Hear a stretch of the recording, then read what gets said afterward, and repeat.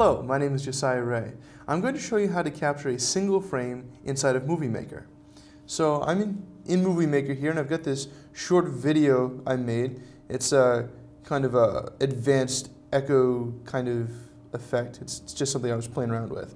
To get one frame out of this video saved as a picture, you can move around inside the video, kind of choose the moment you wanted to save. And then underneath the Home tab, click Snapshot. And this will give you the option to save your picture, kind of defaults to your pictures folder. And it will uh, default to the PNG format. And we're just going to say, yeah, we want to save that. And so now if we go into pictures, there's our snapshot. And you can uh, definitely do this with multiple clips all stacked together and uh, kind of take snapshots from different parts of the movie. You'll notice though that it has added this snapshot to the end of our film. I didn't really want that to do that, so I'm just going to remove it real quick.